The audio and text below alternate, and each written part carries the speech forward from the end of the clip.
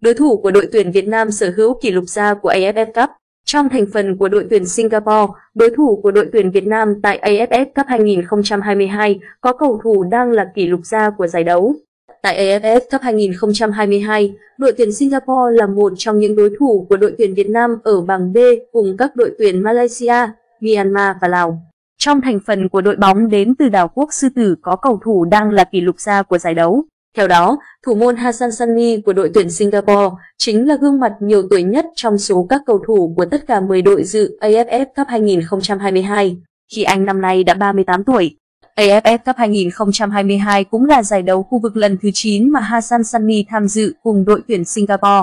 Thủ thành Hassan Sani là nhân tố kỳ cựu của đội tuyển Singapore khi anh đã có 100 lần khoác áo The Lion. Từ năm 2004, thủ môn này tham dự gần như tất cả các kỳ AFF Cup, trừ giải đấu năm 2012. Anh đã có được hai chức vô địch vào các năm 2004 và 2007.